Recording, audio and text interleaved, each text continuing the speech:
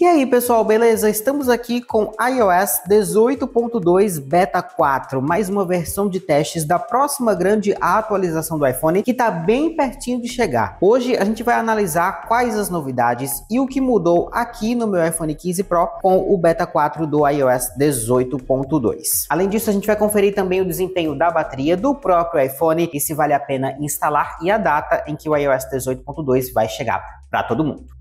Pois muito que bem, essa atualização chegou aqui ó, com mais ou menos de, é, 620 megas de tamanho aqui no meu iPhone 15 Pro. E se a gente vier aqui nos ajustes, na aba geral, sobre, depois a gente vem aqui versão do iOS, a gente vai ver que essa é a 22C5142A. Estamos bem pertinho aí da liberação da próxima versão, que muito provavelmente será a Release Candidate, mas daqui a pouquinho eu falo sobre isso. Uma coisa importante a se dizer sobre essa versão aqui do iOS é que muito muito provavelmente ela já está com as correções de segurança do iOS 18.1.1, que foi liberado ontem, aí dependendo de quando você está vendo esse vídeo, ele foi liberado no dia 19 de novembro para todo mundo. Tem até um vídeo aqui no canal. Então, as correções do iOS 18.1.1 oficial já estão inclusas aqui no beta 4 do iOS 18.2 e estarão também no beta público do iOS 18.2, tá?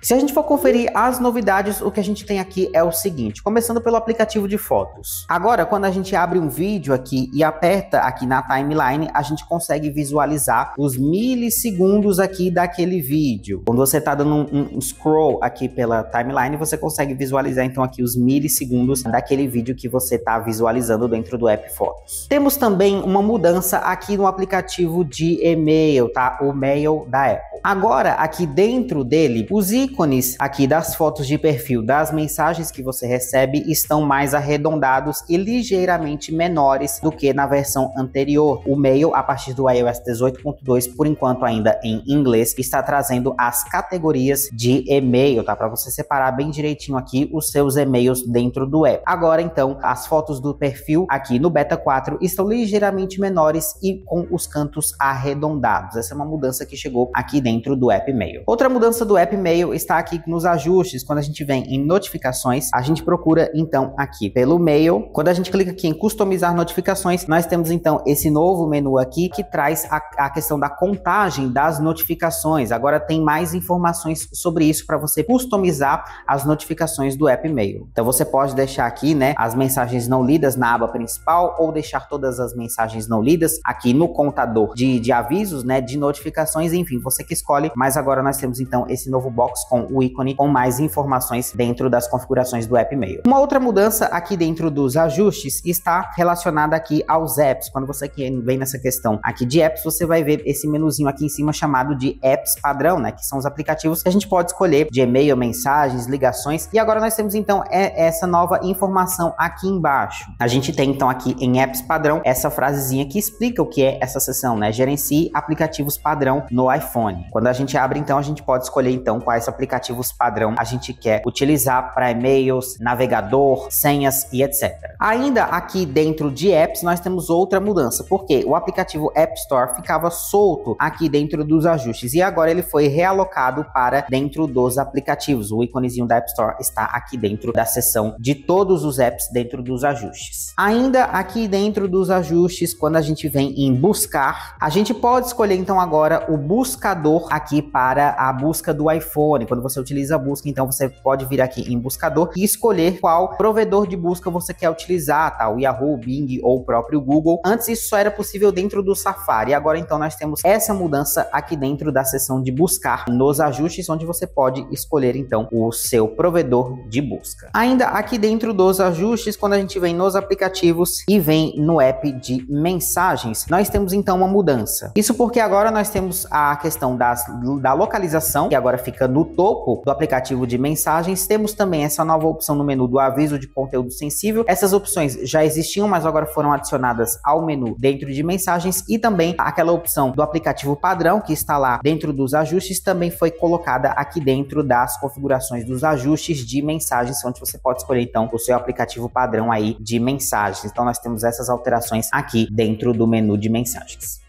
Se você não é inscrito no canal, se inscreve. A gente tá quase chegando nos 100 mil inscritos. E você pode estar assistindo os meus conteúdos sem ser inscrito, tá? A gente tem os melhores aqui vídeos falando sobre as atualizações, sobre iPhone, novidades do mundinho Apple. Então se inscreve aqui no canal para não perder nenhum conteúdo e deixa o like também, uma curtida para o YouTube entender que esse vídeo é legal e espalhar para muito mais gente. Se a gente for falar sobre correções e bugs, o que a gente tem aqui é o seguinte, tá? Dentro do aplicativo de fotos, quando a gente abria uma foto que tinha um texto, esse íconezinho aqui de seleção de texto, né, aqui dentro de uma foto dentro do app, ficava aqui embaixo, ele estava aqui embaixo da lixeira, não estava dando para selecionar ele corretamente. A Apple corrigiu esse problema e realocou ele aqui para cima para poder ficar fácil da gente então selecionar os textos dentro das mensagens do aplicativo de fotos. Isso foi corrigido. As ligações feitas com o WhatsApp estavam sumindo aqui do telefone, tá? Então, uh, elas voltaram a aparecer a partir dessa atualização aqui do Beta 4. As ligações feitas com o WhatsApp voltaram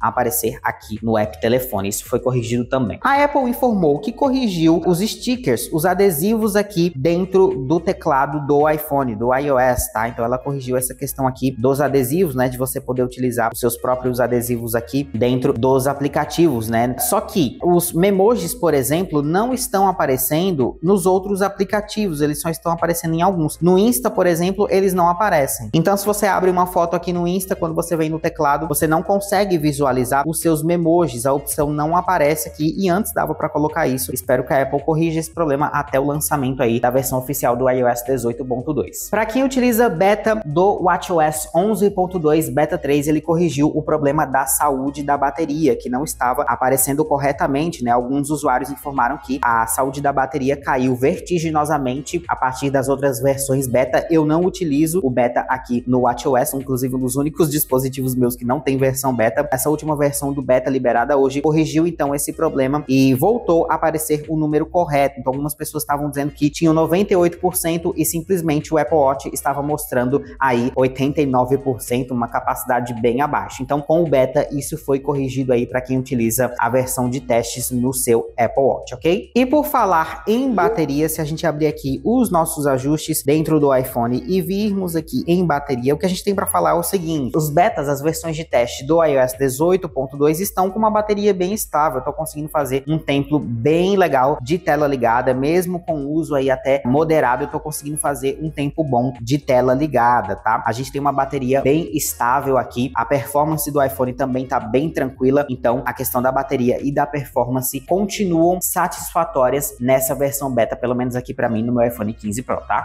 Se você não me segue no Insta, no arroba leonardosantos.tech, você tá perdendo tempo. Isso porque aqui eu tô trazendo os melhores vídeos curtos com dicas sobre Apple, sobre iOS. Tô trazendo os bastidores do canal aqui nos stories, tô interagindo com vocês também na DM do Insta, tá? Então me segue aqui no arroba leonardosantos.tech. Será que vocês conseguem fortalecer essa família chegando em 5 mil seguidores até o final de 2024? Conto com você. E aí, vale a pena instalar o beta beta é, 4 do iOS 18.2, quase me confundo. Vale, galera. Nós temos uma bateria aqui estável, nós temos uma atualização também estável, uma performance ok. Os aplicativos de banco estão funcionando todos corretamente, tá? Tenho testado eles aí ao longo do tempo, mas é preciso que você fique atento às datas, que é o que eu vou falar no próximo tópico. Porque se a gente for falar sobre data, a gente tem aqui então uma situação um pouco indefinida. Isso porque era esperado que na semana que vem saísse então o beta 5 do iOS 18.2. Só que na semana que vem, no dia 28, é a semana do dia de ação de graças lá nos Estados Unidos e a Apple costuma não soltar conteúdo nessa semana. Ela costuma não soltar atualizações na semana do dia 28 de novembro, da semana aí do Thanksgiving, tá? Então é preciso que a gente fique atento porque a próxima atualização que algumas pessoas, alguns especialistas estão dizendo que pode ser a release candidate, ela pode sair então ou a Apple vai soltar antes aí do Thanksgiving na segunda-feira, dia 25, ou então só na próxima semana do dia 2 de dezembro, tá? Porque é esperado que o iOS 18.2 chegue oficialmente aqui na semana do dia 9 de dezembro. Então vale a gente esperar para quando que a Apple vai liberar a questão da release candidate. Por quê? Se você está no beta 4 agora e quer receber a versão oficial, quer sair do programa de testes, você não vai poder receber a RC, aí você vai ter que desativar as atualizações beta para não receber a RC no seu telefone, tá? Então é preciso que você fique atento, porque se você receber a RC e instalar, você não vai conseguir instalar a versão oficial, porque a RC já é oficial em termos técnicos.